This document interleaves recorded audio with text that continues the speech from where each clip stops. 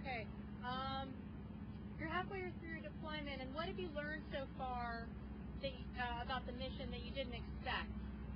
I, th- I think that the two things that, that, that stand out in my mind are that, you know, how difficult it is to, to build a democracy, you know, representative government from scratch, and, and to see what these uh, the Iraqi people have endured, and to see how hard they struggle, it makes you appreciate the system that we have um, all, all all that much more.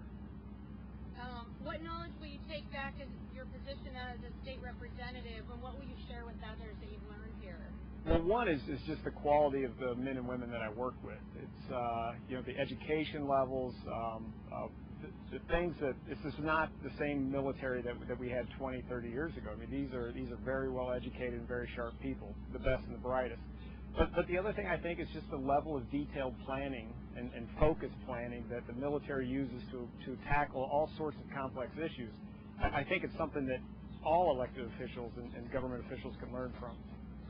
And as a father of three, what is the hardest thing about being away, not only from your constituents, but from your family? Well, I would think if you asked anybody here, it's, it's you miss your family. I mean, we all miss, and we're all in the same boat. I mean, we miss birthdays, we miss anniversaries, we miss weddings, we miss, you know, sporting events, and um, you can't get those things back. But but you hope that that your kids learn that that sometimes people have to rise to the occasion and make some sacrifices uh, for for the for, for the betterment of, of society.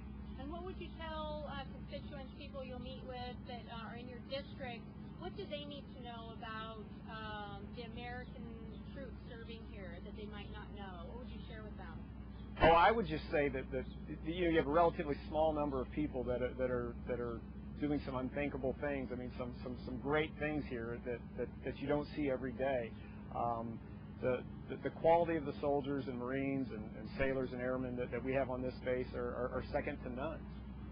Okay, and what would you like to say if anyone from the Springfield area is watching the Pentagon channel? What would you like to tell them? Well, I would say on behalf of myself and, all the men and women I serve with, thank you so much for the support that you've given us.